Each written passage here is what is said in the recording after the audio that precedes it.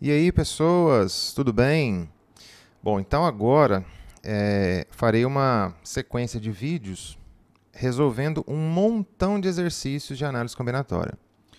É, qual será a minha finalidade? Eu irei ler o exercício, irei a princípio descobrir sobre o que se trata e depois resolver, tá? Então eu coloquei aqui uma quantidade bem bacana de exercícios, tá? De diferentes vestibulares, também do Enem, alguns aqui da minha cabeça, para resolver para vocês, tá certo? Então, vamos lá. Começando aqui, ó. Quantos anagramas da palavra sonhar começam e terminam por vogal? Galera, geralmente, é, exercícios envolvendo anagramas, tá? Envolve permutação. Por quê?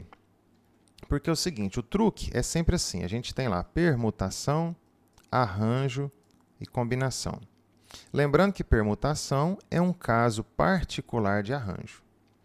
Então, a princípio, a gente tem que ler o exercício e ver se ele trata de arranjo ou de combinação, porque esses dois são completamente diferentes. Tá?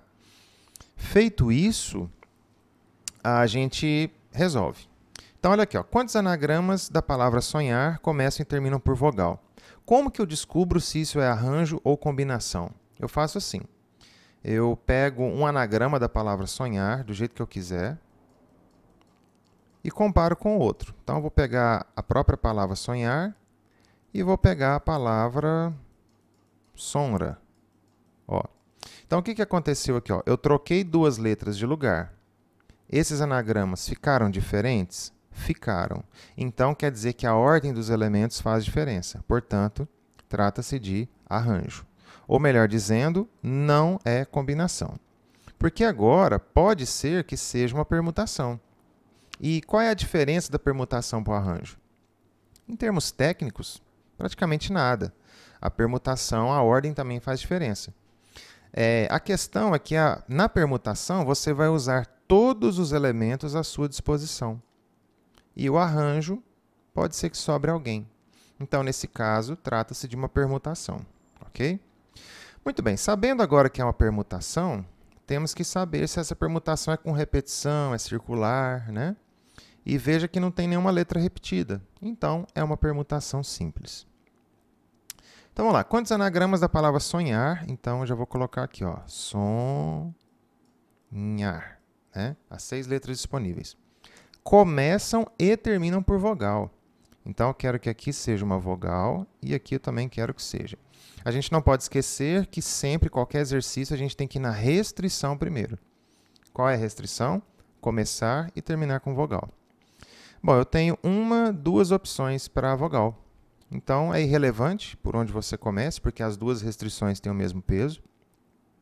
Tenho duas opções de vogal aqui. A partir do momento que eu Escrevo esse 2, eu já deixei uma vogal ali, e agora uma e última vogal aqui. Sobrarão agora quatro consoantes que eu vou permutá-las aqui dentro. 4, 3, 2 e 1. Portanto, 2 vezes 4, 8, vezes 3, 24, vezes 2, 48 anagramas que começam e terminam por vogal. Ok? Número 2, vamos lá. Ó. Esse aqui é um exercício da FUVEST. Esse tipo de exercício é clássico, tá? Clássico. Vejamos aqui então. A figura a seguir representa parte do mapa de uma cidade, onde estão assinalados as casas de João, que está aqui na letra A, de Maria, ó, está aqui na letra B, de Maria, aquele atacante da Argentina, e a escola, letra C. Então, tá aí os três pontos descritos no enunciado e um possível caminho que João percorre para, passando pela casa de Maria, chegar à escola. Então, independente do que ele faça, ele tem que chegar até aqui e depois vir para cá. Certo? Qual o número total de caminhos distintos que João poderá percorrer, caminhando somente para o norte, ou seja, para cima, e para o leste, ou seja, para a direita? Para ir de sua casa à escola, passando pela casa de Maria. Bom, esse tipo de exercício, ele dá essa condição, porque senão, olha o que poderia acontecer se não tivesse isso. É, ele poderia fazer isso aqui, vir para cá, vir aqui, ficar rodando aqui infinitamente, ó. Né? Ou seja, ele seria impossível de ser resolvido. Então, a partir do momento que você coloca essas regras aqui de direções, é, não vai poder haver né, essa, essa brecha. Tá? Bom, então vejamos sobre o que, que trata esse exercício. Primeiramente, é, vamos escolher um trajeto. Ó, pode ser o próprio trajeto que está aqui. Vamos trocar uma seta com a outra de lugar. Então, por exemplo, ó, aqui ele subiu, foi para a direita. Subiu, foi para a direita. Aí depois ele foi duas para a direita, três para a direita. Subiu, subiu, direita e subiu. Então, suponhamos que aqui no final, primeiro ele tivesse ido para a direita para depois subir duas vezes. Ó, eu troquei aqui dois caminhos de lugar. E mudou o caminho, né? Mudou a forma aí e mudou o caminho. Então, não é combinação. A ordem dos elementos altera o resultado. Bom, é, esse aqui é o tipo, class, tipo clássico de exercício que a gente pode modelá-lo de uma outra forma. Aqui a gente está falando sobre caminhos, mas eu vou fazer o seguinte, ó. Cada ida para cima é norte. Cada ida para a direita é leste. Independente de como ele vá, ele vai ter que ter um, aqui ó, um, dois, três, quatro. Ele tem que ter cinco caminhos para o norte. Isso é fato. E para o leste, ele tem que ter um, dois, três, quatro, cinco, seis caminhos para o leste. Então, é obrigatório ter cinco para o norte e seis para o leste. Então, é como se a gente tivesse uma palavra assim, ó, com cinco letras N, né? E seis letras L. Olha lá. Ué, então na verdade, esse exercício ele pode ser modelado como sendo uma palavra de 11 letras. Ó.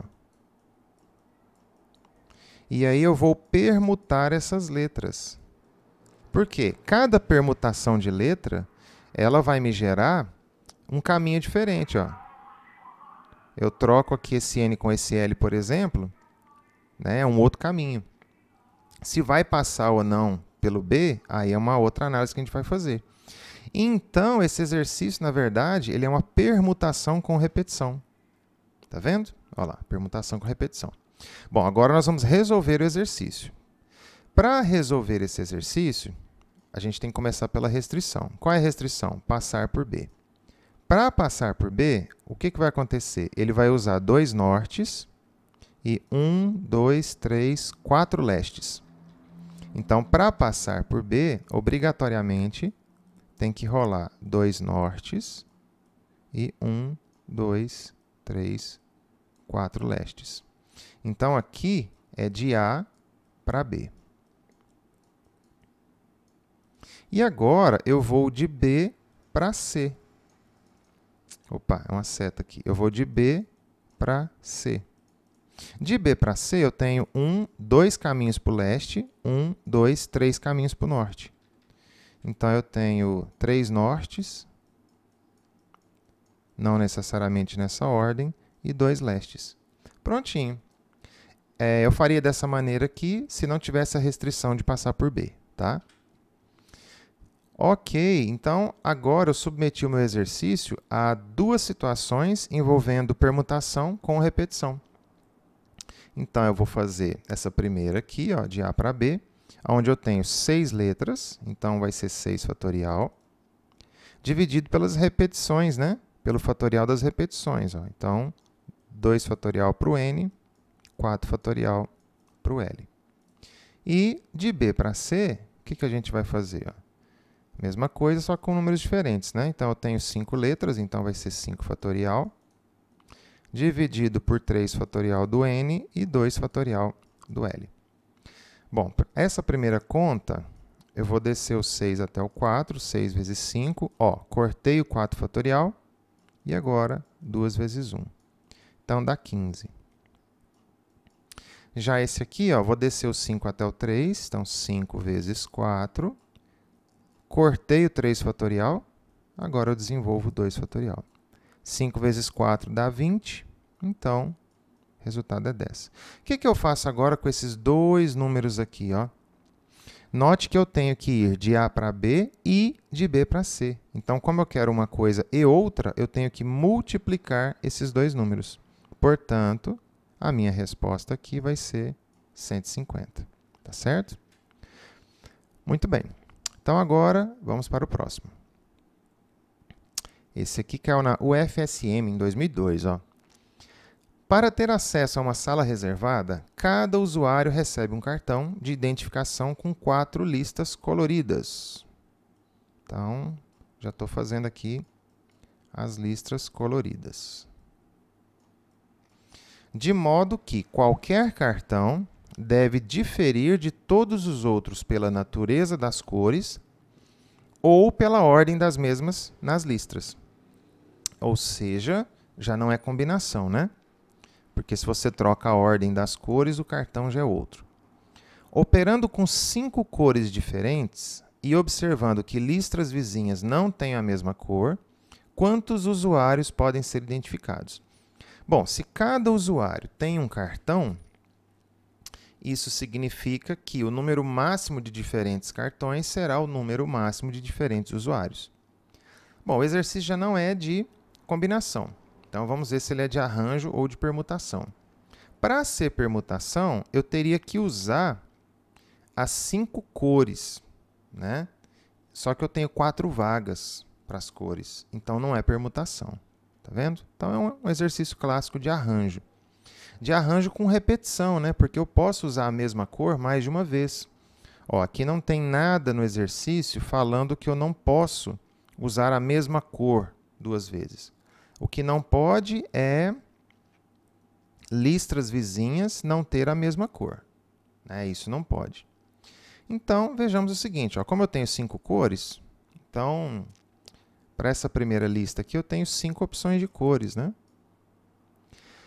Para outra, para a lista consecutiva, a próxima lista direita, eu não posso utilizar a cor que eu usei antes. Então, agora eu tenho quatro opções. Só que aí, para essa próxima lista, novamente eu não posso usar a cor que eu usei anteriormente. Então, eu tiro ela e passo a poder usar a cor que eu usei aqui. Ó. Ou seja, eu volto a ter quatro opções. Né? Aqui, ó, cor 1, cor 2. Nossa, que cor horrível. Vamos chamar isso aqui de ABCD. Ó. Cor A, cor B, C, D e E. Tá? Então, ok, usei a cor A na primeira lista, que foi aqui. Agora eu não posso usar a cor A, então eu tenho quatro opções para a segunda lista. Suponha que eu tenha usado a cor D. Então, a cor A ela volta a ser opção para ser usada na terceira lista. Por isso que eu volto a ter quatro opções. Sendo assim, a gente vai ter aqui agora um 4 novamente. E seguindo o mesmo raciocínio, para essa última lista, novamente, eu vou ter quatro opções. Tá? Bom, então 4 vezes 4, 16. 16 vezes 4, 64. Vezes 5, 320. Logo, eu posso ter aí um total de 320 candidatos. Candidatos? Uh, usuários. Isso, 320 usuários que eu posso ter. Porque eu posso ter 320 cartões pintados de maneiras diferentes. Certo?